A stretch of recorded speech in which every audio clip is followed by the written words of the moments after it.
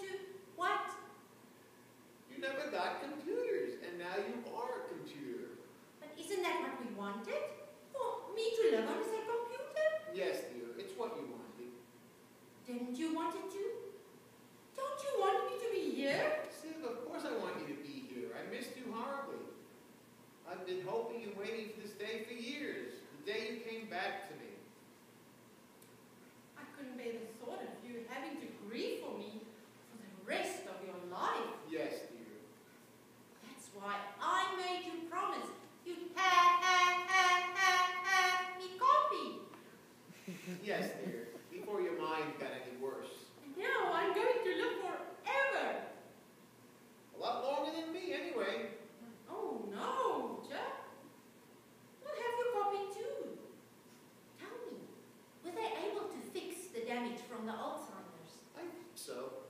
I don't know what they do. Weren't you following the process closely? Weren't you in charge? It felt like watching you at the operating table. I couldn't handle it. I let Bobby manage the details. Let me ask her what they did. Hey, Bobby. Yes, Chip? Who's that? How did they handle the Alzheimer's damage? Let me check.